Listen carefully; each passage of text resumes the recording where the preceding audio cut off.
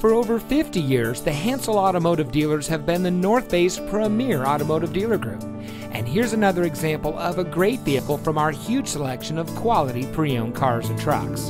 And comes equipped with the following options and features front side curtain airbags, folding split rear seat, ventilated disc front brakes, in dash single disc CD, Bluetooth auxiliary audio input, six speaker audio system, wireless data link Bluetooth, and much more.